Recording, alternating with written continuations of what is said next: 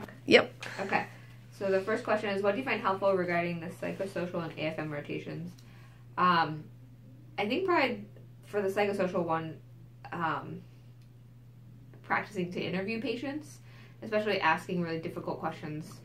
Um, one example is I was with Dr. Strassel, and we had a patient that had um, been sexually abused, and I don't think I'd ever encountered asking a patient about sexual abuse, Hmm.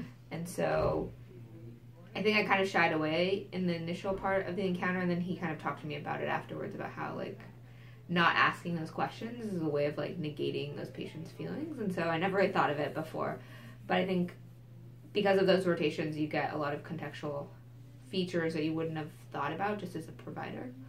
And so I thought I find that to be really helpful. So there's always something new that I learn about either my interview or how I ask patients questions or how things are phrased or different ways to think about things that I find really helpful.